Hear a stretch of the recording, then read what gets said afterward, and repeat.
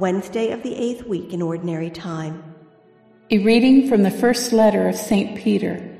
Beloved, realize that you were ransomed from your futile conduct, handed on by your ancestors, not with perishable things like silver or gold, but with the precious blood of Christ, as of a spotless, unblemished lamb.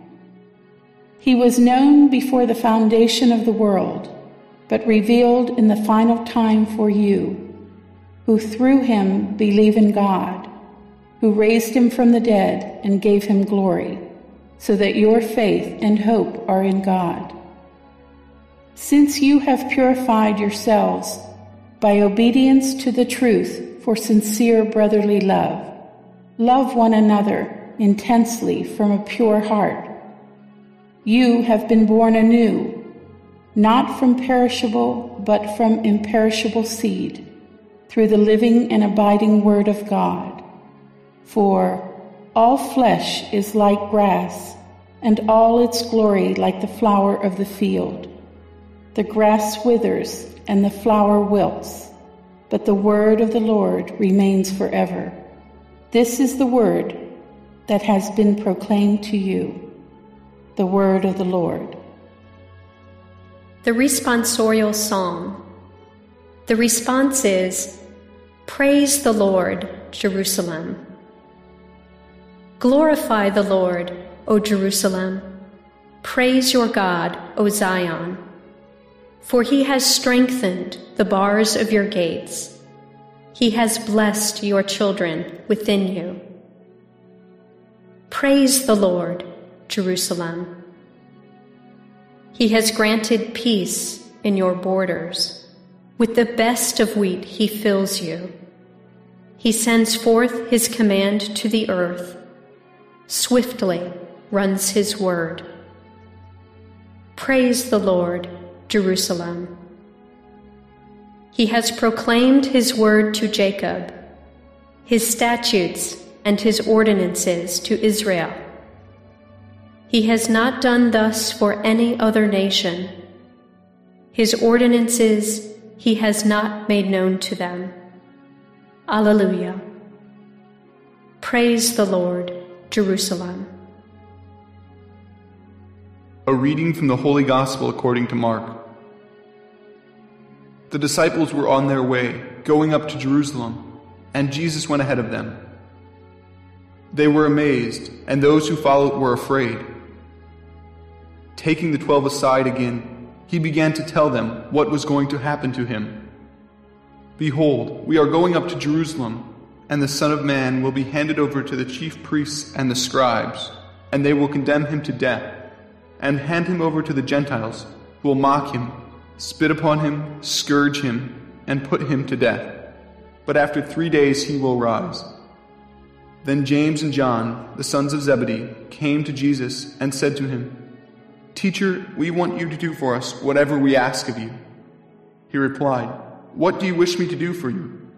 They answered him, Grant that in your glory we may sit one at your right and the other at your left. Jesus said to them, You do not know what you are asking. Can you drink the chalice that I drink, or be baptized with the baptism with which I am baptized? They said to him, We can. Jesus said to them, The chalice that I drink you will drink, and with the baptism with which I am baptized you will be baptized. But to sit at my right or at my left is not mine to give, but is for those for whom it has been prepared. When the ten heard this, they became indignant at James and John. Jesus summoned them and said to them, You know that those who are recognized as rulers over the Gentiles lord it over them, and their great ones make their authority over them felt. But it shall not be so among you. Rather, Whoever wishes to be great among you will be your servant. Whoever wishes to be first among you will be the slave of all.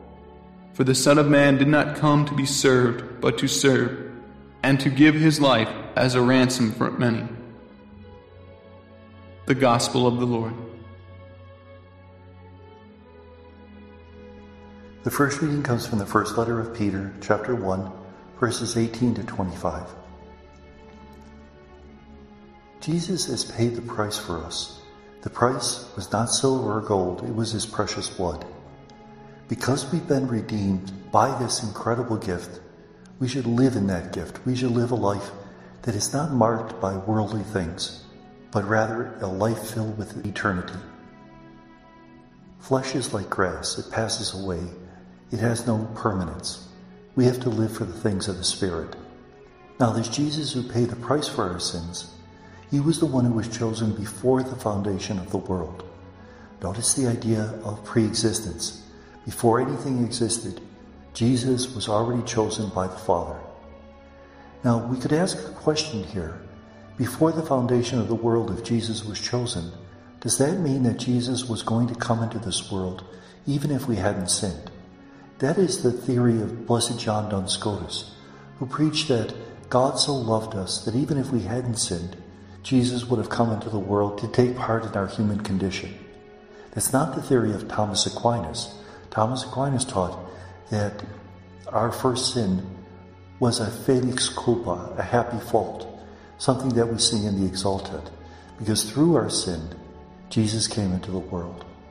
So notice, even about these important things of our faith, there are different theories because we're dealing with mystery, which goes beyond our human understanding. And sometimes saying both things can somehow be true. The Gospel is from Mark 10 32 to 45. Jesus predicts his passion a third time. Remember, in the previous two predictions, the disciples responded in an inappropriate way. The first time, Peter told Jesus not to say anything about his passion because Peter was afraid that the people would misunderstand. He thought that Jesus was going to be the Messiah, but a Messiah who was a conquering hero and not one who would suffer and die for our sins. So Jesus has to tell Peter, Get behind me, Satan. The second time Jesus predicts his passion, the disciples are talking about who's most important among them. This third time, James and John come up to Jesus and say, When you get to your kingdom, can we sit on your right and left? That's like telling your best friend that you're dying of cancer, and the response is, What a shame. But can I have your car when you're gone? I always liked it. They're only thinking of themselves, and what Jesus has to teach them is that following him, sharing in his glory, means also sharing in his cross. So he says, Are you ready to drink the chalice of which I'm to drink? The chalice is that idea of sharing in Jesus' fate. We have to remember that when we go up to receive the Eucharist, that by receiving the Eucharist, we're not only receiving something from Jesus, we're also promising to share in his cross and resurrection. Jesus then instructs them that the great ones of the pagans lord it over others. It shouldn't be that way among the disciples of Jesus because the Son of Man has come to serve, not to be served. Our discipleship is based not upon how much power we can accrue, how much fame, what people think of us, but rather how much we can serve, how much we can love, how much we can sacrifice of ourselves in order to be of service to God and to each other. And may God bless us.